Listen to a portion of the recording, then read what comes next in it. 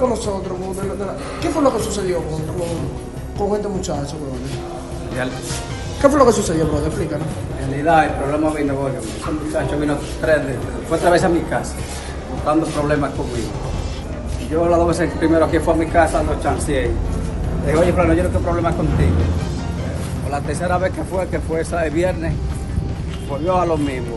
Yo no estaba en mi casa y cuando llego estaba el hijo mío de medio, que le llaman Riley. ¿Sí?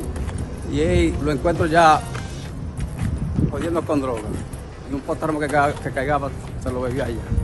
Y me dice, oye, como yo estoy hoy, mato a cualquiera.